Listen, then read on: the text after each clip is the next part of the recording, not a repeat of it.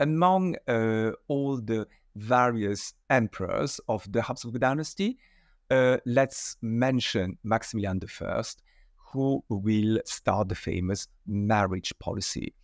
Uh, and as a consequence, marriages would brought, bring uh, territories, uh, new territories uh, into the hands of the Habsburg.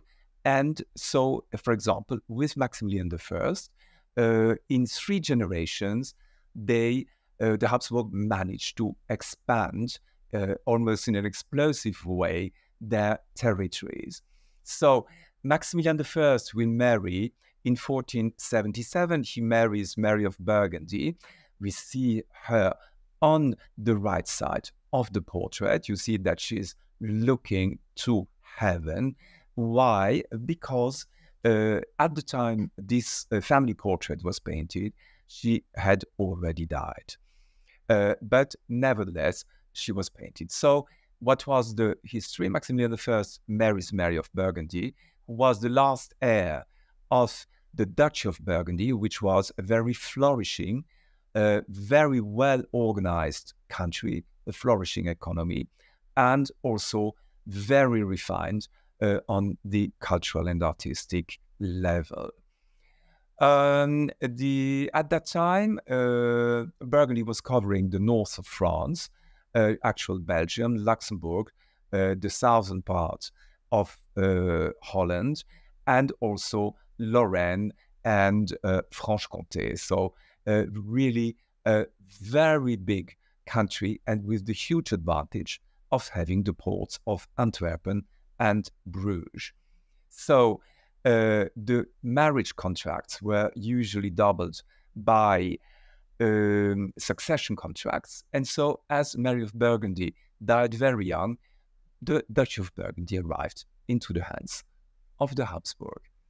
One generation later, Maximilian married his son Philip, see him here, and his sister Margaret to Juan and Juana of Castilla y Aragon. So, shall we say, the Spanish royal family. And the uh, again, through lucky circumstances, uh, Spain arrived into the hands of the Habsburg, uh, and uh, also with the overseas territories. America had just been discovered a few years before.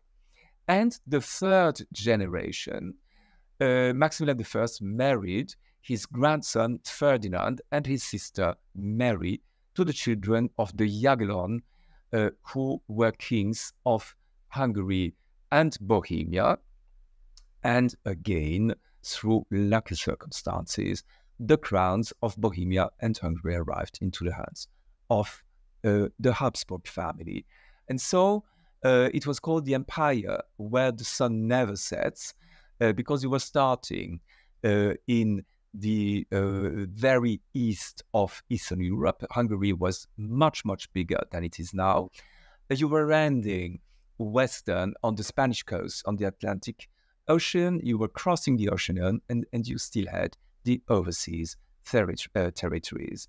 So, also here, just to give you an example of this very famous marriage policy. Then the Ottomans, another aspect of the history of Vienna.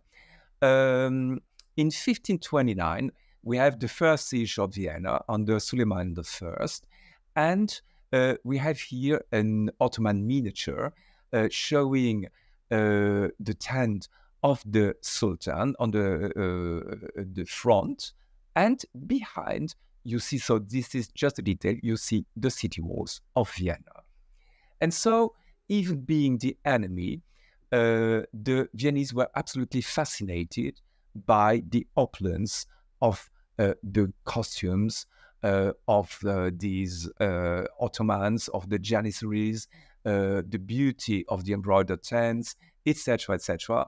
And uh, we will see that uh, there will be a second siege. The first siege of 1529 was interrupted by the arrival of winter, so they left on their own. And the second siege in 1683 was interrupted by the arrival uh, of the Polish army led by Jan Sobieski. And later, um, the there will be, shall we say, an Ottoman Oriental heritage in Viennese culture.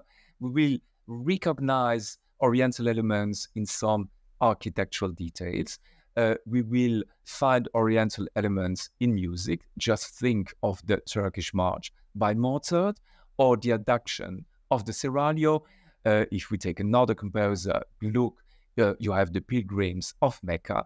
And so there will be, even having been the uh, enemies, there was this fascination for the Orient. And um, again, another aspect of history, the religion wars. Uh, so the Reformation and the Counter Reformation.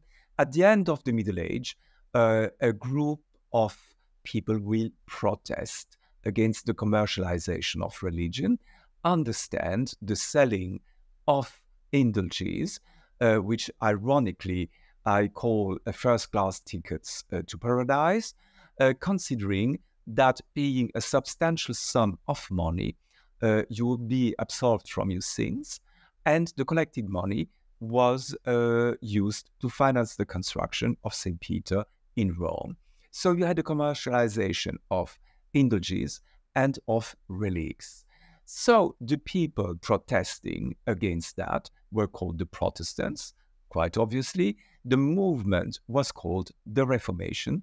The Protestants, among others, were also against the imagery uh, in the churches. And uh, therefore, in politics or in religion, often both are linked. In this case, they are very uh, uh narrowly linked. One movement calls a counter movement, which will be the Counter Reformation. Uh, and so the Counter Reformation uh, will be characterized by the Baroque uh, artistic movement. I always define the Baroque movement as being the artistic expression of both the triumphing Counter Reformation and uh, absolutist power. And uh, we'll see through a few examples, especially architectural examples, uh, how present is the Baroque style in Vienna. So for the amateurs of Baroque architecture, you really uh, you find all you want in Vienna. Um, then uh, Maria Theresa has absolutely to be mentioned. Maria Theresa is probably the most important woman in Austrian history.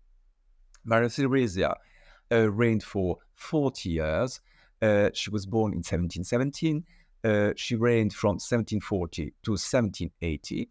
And at the beginning of her career, she had quite a hard work. Actually, being a girl, she had not been particularly prepared by her father to succeed to him. And being very clever, she was seeing that there was no little brother coming.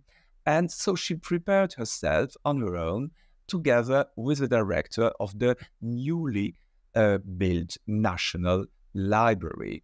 And so she started studying uh, history of political institutions, history, genealogy. Genealogy at the time was extremely important to know the genealogy of all the main royal families. And uh, Maria Theresa uh, grew up uh, together with her future husband, uh, who had been prepared uh, to become her husband. Uh, and she always declared, even be, being almost a small girl, she always declared, it will be him or I shall never marry. So she knew exactly what she wanted.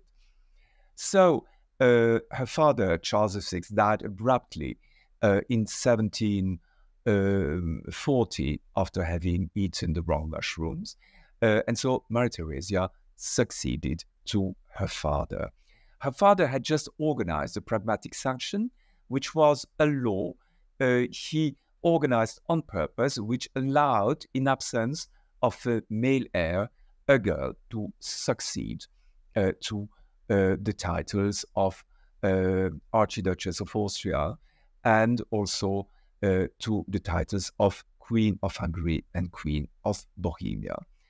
Um, her uh, husband, we see on the left side of this portrait, family portrait, uh, was Francis Stephen of Lorraine, and then she organized the, uh, that he was elected emperor of the Holy Roman Empire. They were it was a love story. Um, they loved each other uh, a lot, uh, and they had 16 children. 10 of them reached the adult age, and Maria Theresia was also famous for her own marriage policy. So she did a love marriage. None of her children did. Uh, they were like uh, chess pieces. Um, and uh, they were married across Europe, uh, m- mainly to consolidate uh, alliances or uh, treaties of peace. only one daughter was allowed to do a love marriage. It was Maria Christina marrying Albert from Saxony. Um, yes, and so in the center of this painting, we see with the red coat, we see Joseph II, the eldest son, who will become later, uh, he will be crowned Emperor of the Holy Roman Empire in 1765, and then co-reign with his mother, which was sometimes a little bit difficult, uh, till her own death in 1780.